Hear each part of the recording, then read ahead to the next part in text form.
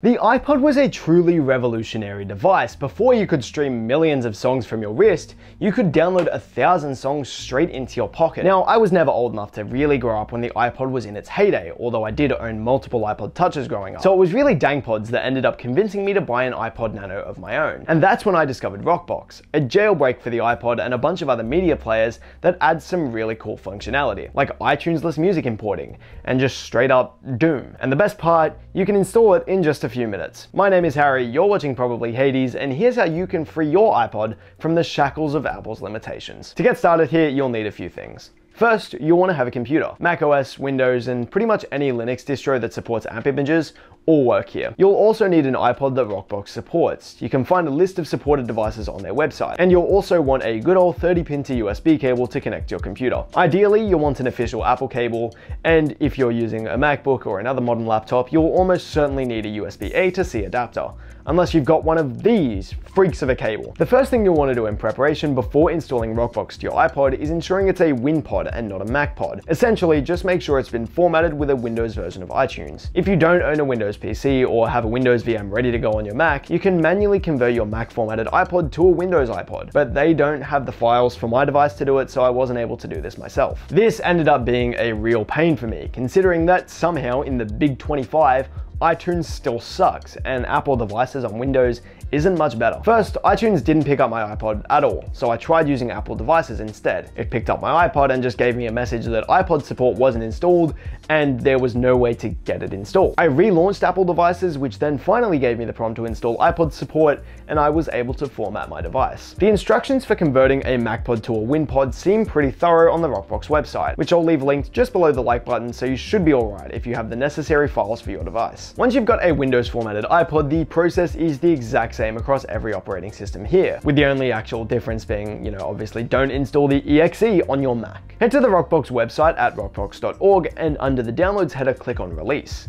Click on the big yellow download installer button and download the right one for your OS. Like I mentioned earlier, they've got releases for Mac, Windows, and Linux here, with the Linux download being an app image, so most distros should support it. Install the app the way you usually would. On Windows, run the installer and go through the prompts. On macOS, mount the disk image and drag rockboxutility.app into your applications folder. There isn't a shortcut to the apps folder in the disk image like most other applications, so you'll have to find the folder yourself. On Linux, you should be able to just run the app image file. On macOS, you'll get this error about the app being unsigned when you go to open it for the first time. If you're on macOS Sonoma or earlier, just right click on the app, click open, then click open anyway. If you're on macOS Sequoia or later, head into your privacy and security settings, then scroll down to the app and click open anyway. Click open anyway again, then enter your password or authenticate another way. Now you're in. On your first launch, it'll bring up this menu, getting you to select the mount point and detect your model.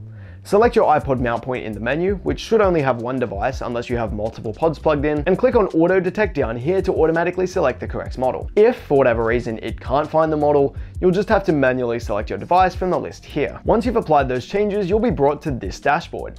By default, the necessary files are selected here, like the bootloader, Rockbox itself, and the plugin data. You can add on other features here as well, like the voice packs for text-to-speech functionality, a PDF or HTML copy of the manual that you can access when you plug your iPod into a computer, and themes to spice up the look of your device. If I'm being real here, Rockbox kinda looks terrible out of the box and the available themes here help out tremendously. You can select and download them straight from the utility by selecting them in the pop-up that appears when you enable themes. You can also preview them in the sidebar here. From this dashboard, you can also configure other accessibility features and backup or uninstall Rockbox after it's been installed. Once you've got everything configured to your liking, go ahead and click that install button. If your iPod is formatted from a Mac, you will get an error here head back in the video to the formatting section to get your iPod formatted to a Windows iPod. You might also get this error here about Rockbox not having permission to access your device. This seems to occur most commonly on macOS, which can be fixed using this command here, which I'll leave in the description and just runs the app with elevated permissions. On Linux, if you experience this error, you should just be able to run the app image with sudo, and Windows users should just be able to run the app as administrator, although this issue doesn't seem to be as prominent on those two OSs. After running as sudo or admin,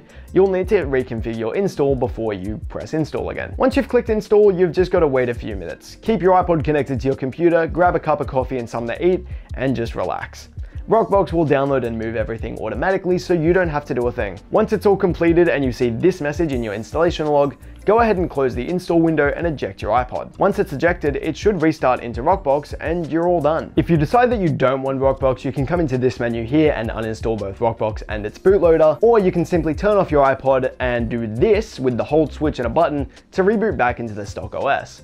I can't show this off myself because my hold switch is broken. So now that you've got Rockbox, what can you do? First things first, let's get that theme applied if you downloaded one. You can do that by heading into settings, then theme settings, and selecting your favorite theme. You can download multiple by the way, so you don't need to limit yourself to just having one on your device at a time. More importantly than looking nice, we do need to have music to get the most, out of our music player. If you had music in the stock OS, clicking on database and letting it build should find it all. But easily my favorite part about Rockbox is that you don't need to use iTunes for music anymore. You can connect it to any system as a USB flash drive and just drop music files straight onto it even files like FLAC that iTunes doesn't let you put on iPods. To demonstrate, I'll move this FLAC straight onto the internal storage using my iPhone. If you've built your database already, it should automatically pick up any new files and organize them on its own but you can force a rebuild or a scan in the settings under general settings and database. And just like that, I'm enjoying a lossless copy of a song that usually wouldn't be supported at all and I did it all without touching iTunes. Now that I've had my fun with that, I'll get into what you're probably here for, considering it's in the title and thumbnail,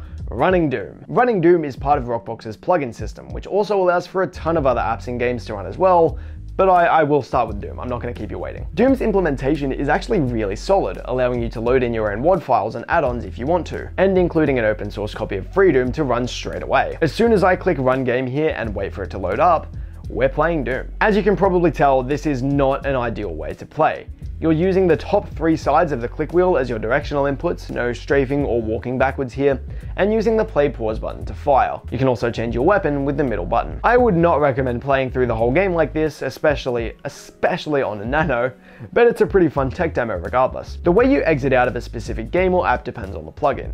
Doom, for example, requires a combo of a button and the hold switch. If Doom isn't enough for you, Rockbox also includes a built-in Game Boy and Game Boy Color emulator. Just drop your ROMs onto the internal storage and run them from the Files menu. From this demo of Super Mario Land, it does seem to run at full speed, However, I can't actually get the controls to work, so your mileage may vary here. There's plenty of other built-in games as well, like Snake, 2048, and Minesweeper. If games aren't your thing, there's plenty of apps here as well. A good chunk of them are pretty useful or just kind of look cool for music playback, like LRC Viewer, which lets you view the lyrics that are embedded into a music file, or in a text or lyric file that have been put in the folder with the same name. Or the oscilloscope under demos that lets you view the waveform of the song you're playing. There's also some more interesting apps that don't really make sense but are fun to see running on an iPod, like a fully functional calendar, a 2FA code generator that would actually work, or an interactive periodic table for some reason. For the last party trick that I enjoy using occasionally, I present remotely controlling your PC or Mac over USB. By default, the USB control mode is set to multimedia.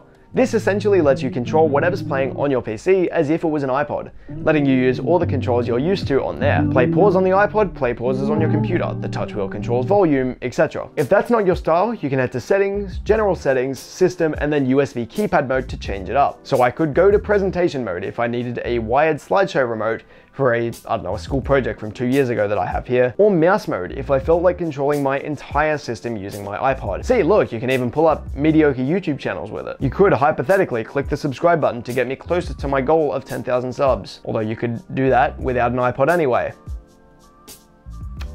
and you should. This would be much cooler if it allowed for wireless control somehow, but obviously that's not actually possible here. I would quite literally kill to walk around on stage holding an iPod Nano while I give it a presentation but I guess I'll have to settle for an 8-bit Micro or something. And that's it! You've broken free from the limitations of Tim Apple and liberated your iPod to play Doom and be a presentation remote. If you like this video, make sure to hit that button and maybe even subscribe as well. You can follow me over on Instagram, Bluesky, everything else. You can join the community Discord with the links on screen and in the description below. If you want more videos, you can click over here to check out my review of what is absolutely the coolest piece of tech I've ever used, or you can click over here to check out whatever YouTube thinks you'll like.